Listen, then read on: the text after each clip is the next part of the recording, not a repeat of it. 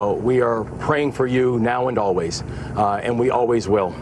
We've also had the chance to spend time with a lot of our first responders who we mentioned before. Uh, the work that they have done since early in the morning and they have not stopped since uh, is truly is truly remarkable.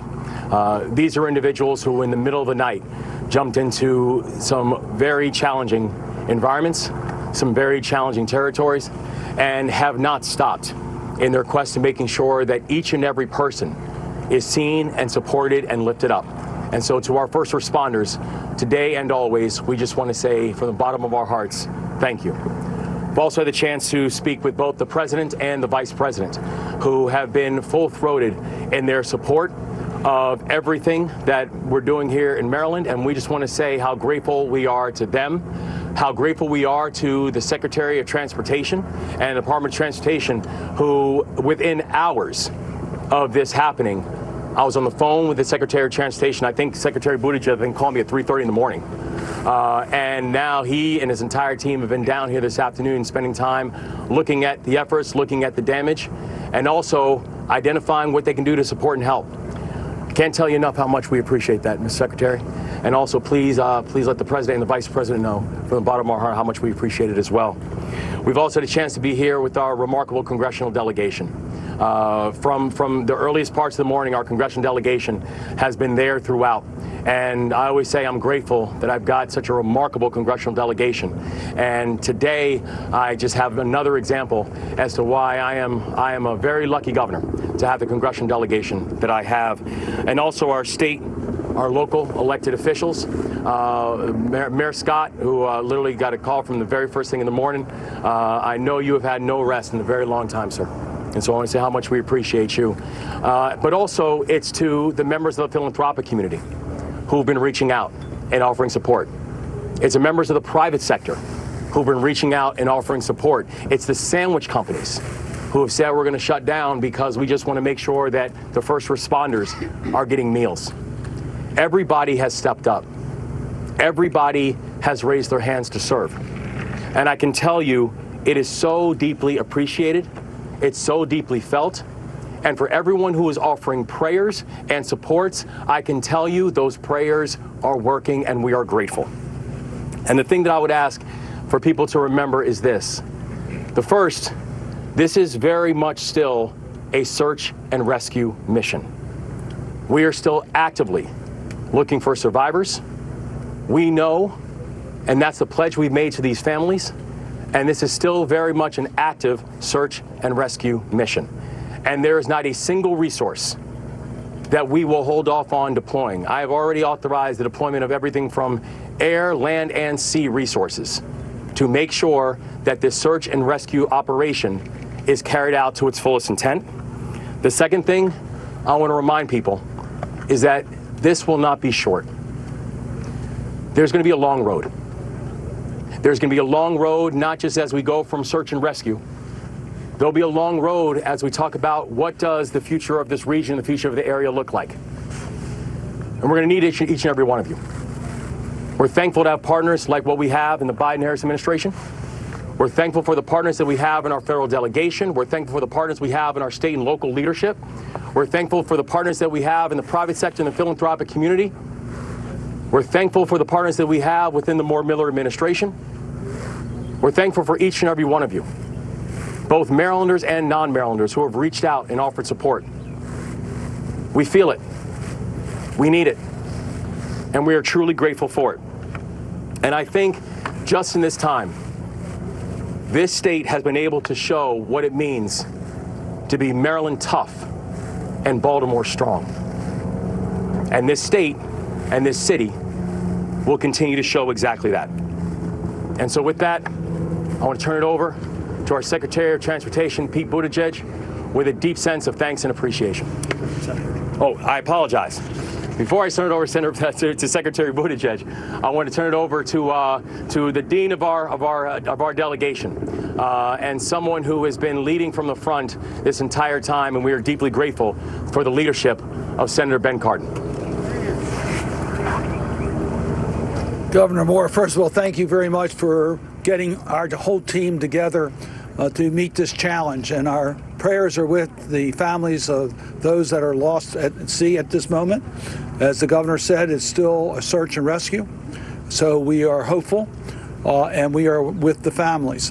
I also want to underscore our thanks to our first responders. They did an extraordinary job, acting very quickly and saved lives. So we thank our first responders for everything that they have done. I, I just really want to underscore a couple points. Our first priority is the search and rescue for those that were uh, on the bridge. We then need to make sure that the, the, that the channel is reopened. It's critically important to our economy. Uh, it affects many, many jobs. It affects not only jobs here in Maryland, but around the, country and, and world. So our, our next priority is to make sure we get that channel opened. And then we also need to fix and replace the bridge for the surface transportation. We're going to work together as a team. I am very impressed by all the partners that are with us today. We heard from them at the state level, at the local level, at the federal level. I particularly want to acknowledge our federal partners. The Secretary of Transportation is with us. We have the Coast Guard. Uh, we have the Army Corps of Engineers. We have the investigators. We have the Small Business Administration. They're all here because of the commitment of the partners to work together. A special thanks to President Biden, who's made it very, very clear that he'll do everything in his power to make sure that we get the help we need to deal with this challenge. But as Secretary Buttigieg told us in our briefings, he's going to need the help of Congress in order to get things done. So I want to acknowledge our team, Senator Van Hollen, my partner in the United States Senate on the Appropriations Committee, and the work that he's doing. Congressman Mfume is here. Congressman Trone is here. Team Maryland, our federal delegation is committed to working together. Senator Van Hollen and I got calls from our leadership that said they're prepared, Secretary Buttigieg, to do everything that we need to do in Congress to make sure you had the resources and the federal partners had the resources in order to get the job done. So I want to thank Senator Schumer for his call and his comments. Uh, Senator Murray, uh, Senator Carper, Chair of the Environment and Public Works Committee, have all been in touch with us. It is a team effort, and we're going to make sure that we do everything we can to protect our economy and protect the people of our state. And with that, let me just turn it back to the governor or Secretary Buttigieg. This guy woke all of us up early this morning, so thank you very much. well, thank you. Um, and uh, I want to thank Senator Cardin and the entire delegation for their leadership. Uh, they have been on this from the first moments. Uh, and as the senator mentioned, and I'll say more about this in a moment, we'll be needing to work together uh, to make sure that uh, we uh, render all of the support that is needed at the federal level. I want to recognize the leadership of Governor Moore, who was already wide awake and hard at work when I reached him in the middle of the night. Uh, we just had a very informative briefing with his extraordinary leadership team. And I was moved to see the partnership uh, between uh, state as well as county and uh, city personnel, uh, led by the county executive and the mayor, working hand in glove uh, with us and with our sister federal agencies. And if there's one thing I have to say today, it is a note of gratitude for the extraordinary and courageous work of the first responders, uh, some of whom are in that cold water right now, some of whom are from right here, some of whom have traveled in to render mutual aid all of whom are responding with extraordinary professionalism and whose work has already saved lives. And to those uh, state, county, and local responders, I would add uh, the extraordinary work of the United States Coast Guard. We should also recognize that this is an excruciating day for several families who went to bed last night uh, having it be a normal night and woke up today to news that no one wants to receive. They are hoping and praying, and we are hoping and praying with them.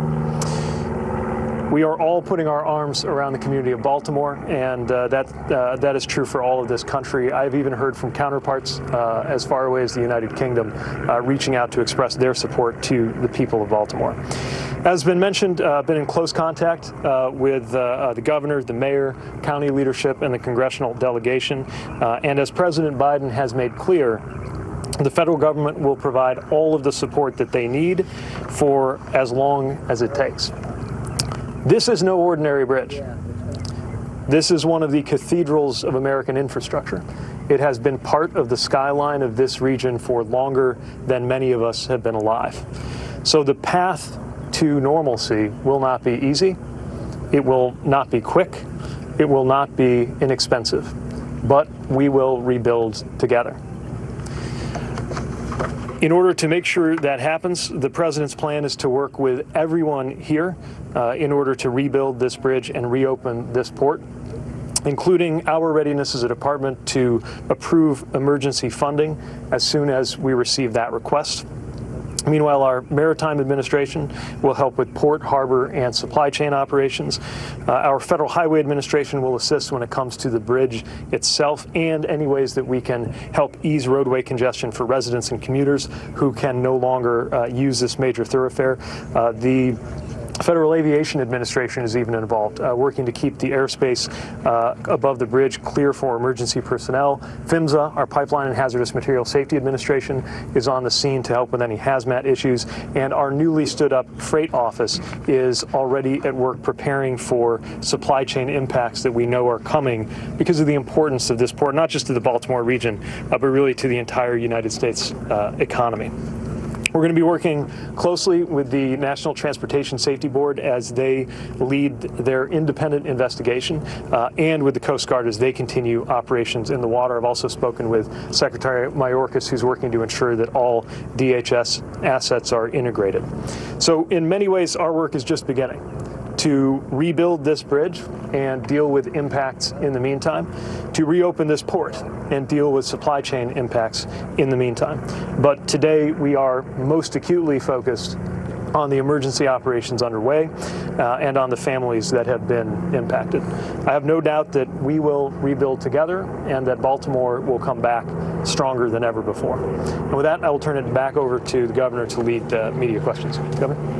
Governor, any news on uh, the missing covered? Any line, any dead? There's there, there's there's no new information uh, about the, the, the search efforts um, that we know that we still have uh, we still have the six individuals who are missing. Governor, when when you talk about the investigative standpoint, how concerned are you if there were any safety violations on this ship or, or the track record of the owner operator? And Mr. Secretary, if you could speak to that as well, do you have any concerns about that? Mayor Scott, we also didn't hear from you. What are your thoughts on this tragedy today? Well, um, well I'll, I'll take it first, and I can pass it off to, to Ms. Mayor. Uh, Thank you. I, I know there's a, there's a thorough investigation that's going to be going on about everything that took place last night, the things that led up to it, and also the aftermath. Uh, and so I, I don't have any further comments about uh, any, any concerns that we have about the companies that are involved because there's still a thorough investigation that's going to take place. Thank you, Mr. Governor. Uh, I think we all know uh, this is an unspeakable tragedy.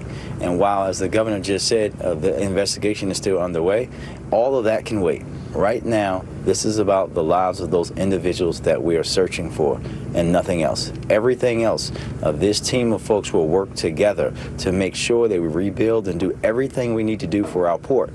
But right now, we need everyone to understand this is about the lives and those families who are deeply impacted. Mr. Governor. Secretary, Mr. Secretary um, this is, uh, we've seen now uh, several bridge collapses happen over the past couple of years.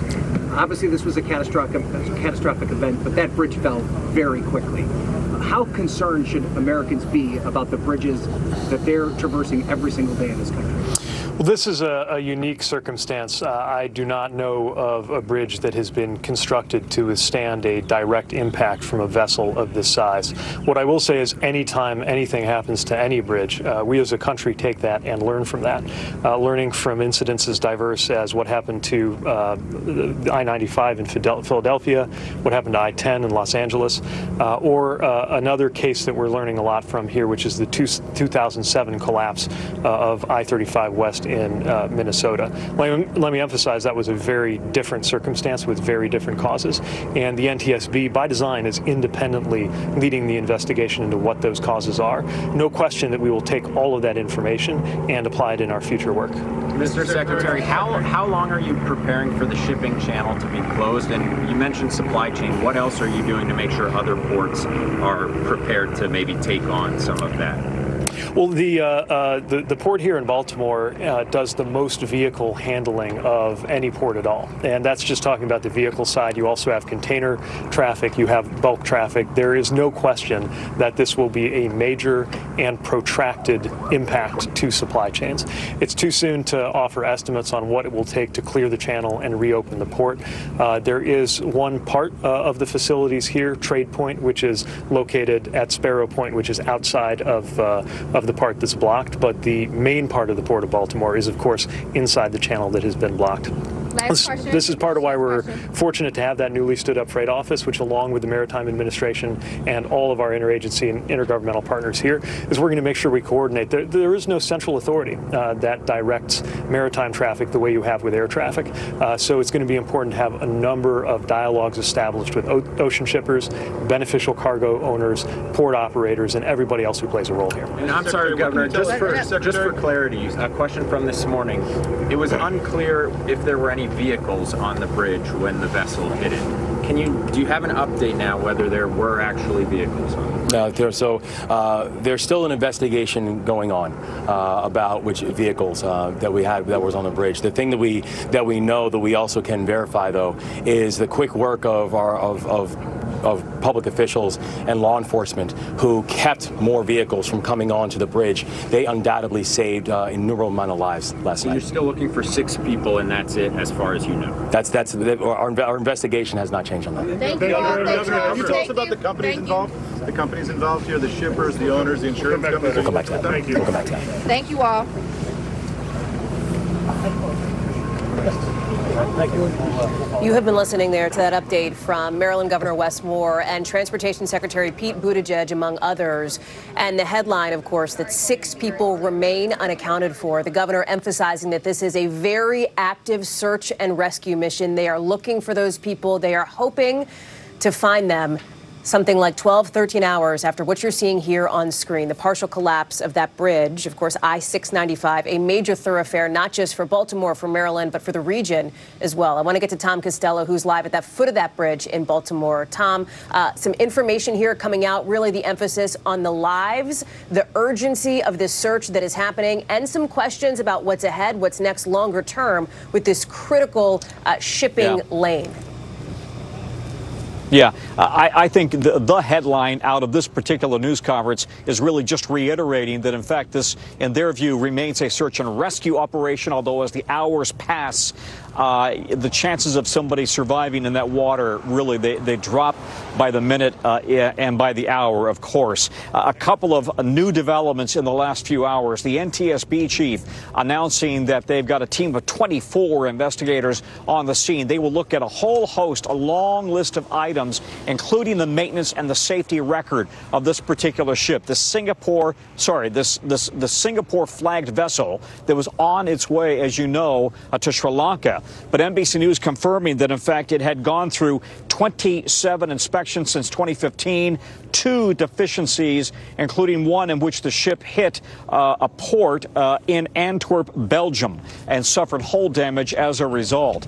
They'll look at the safety and maintenance history, of the of the vessel, and also why it it appears that the vessel lost power and then lost the ability to navigate just after leaving its berth here in the port of Baltimore at about 1:30 uh, in the morning. And according to uh, all procedures and policies, when you are navigating through a port, uh, you need to bring on a local pilot, a pilot who will help you navigate through that port. So the question then becomes, let's just make sure, and I'm sure investigators will drill down on this, was there a local pilot on board? Did he or she oversee uh, the course of this of this vessel?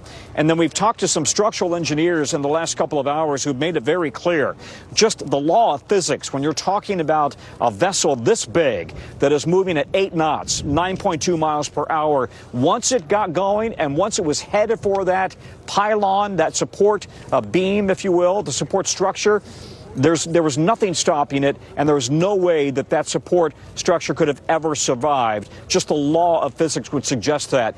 And he, this Johns Hopkins civil engineering expert, telling us, let's be real about how long it will take to rebuild this kind of a structure stretching a mile and a half and so high above the, the port. It will take, he said, we're talking five to 10 years. Uh, it, it will be a massive infrastructure project that will cost an awful lot of money. And yes, the federal government is promising to immediately come in with money to help start the process.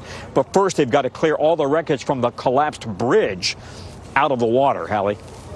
Tom Costello, thank you. I want to bring in Kevin Heaslip, the director of the Center for Transportation Research at the University of Tennessee. Uh, and Kevin, you heard Tom talking there about this ship going something like eight knots, and the secretary discussing the unique circumstances here, the incredibly unique circumstances that led to the catastrophic collapse now of this bridge. Talk us through next step. What is the biggest priority for investigators moving forward?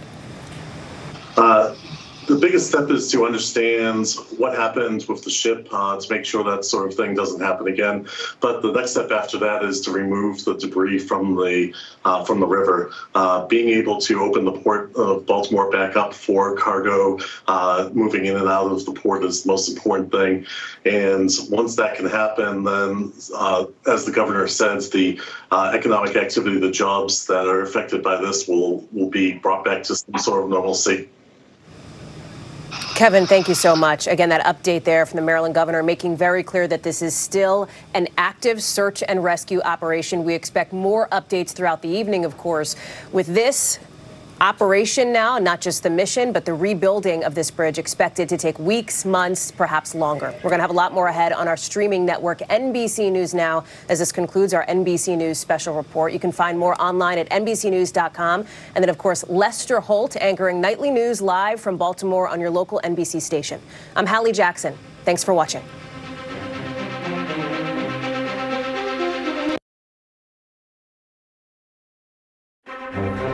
If it's Tuesday, we're following breaking news out of Baltimore, where emergency rescue teams are racing to find at least six people still unaccounted for after a cargo ship crashed into the Francis Scott Key Bridge, sending the entire